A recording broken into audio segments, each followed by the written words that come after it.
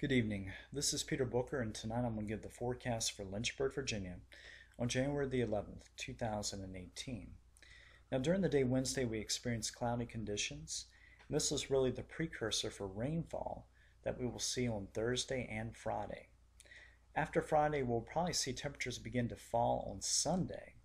Uh, highs on Sunday being in the 30s, and this will last into the middle of next week.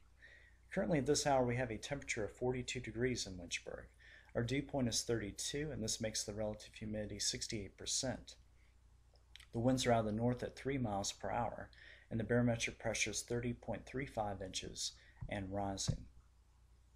Looking at the radar overnight, we can see precipitation extending from Texas into Minnesota.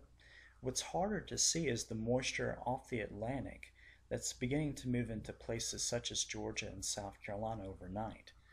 What that means for us is that on Thursday, we'll probably have heavy rain beginning to fall in the Carolinas by mid morning, and that will extend into Virginia by late morning.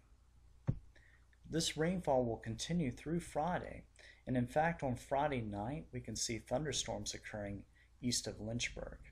On the backside of this low pressure, we can see snow and ice, this will be a changeover deal for much of the Northeast. Pennsylvania, New York, into much of the Northeast can experience significant snowfall on the back edge of the system.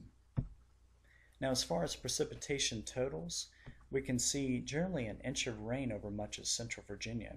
Locations to the south and north could pick up, let's say, two to three inches, especially in Pennsylvania and New York.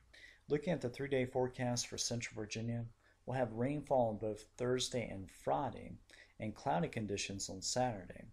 High temperatures will be in the 40s on Thursday, while on Friday we'll probably have a high near 63. Look at the temperatures falling back into the 40s on Saturday with overnight lows in the 20s. This will kind of lead the way for cold air on Sunday. Again, temperatures probably reaching the middle 30s on Sunday, and that will continue into the early part of next week. So keep in mind precipitation totals will probably be around an inch from this system and then we'll have really cold conditions that follow. So if you enjoyed this forecast, please visit weathermarshall.com and have a great night.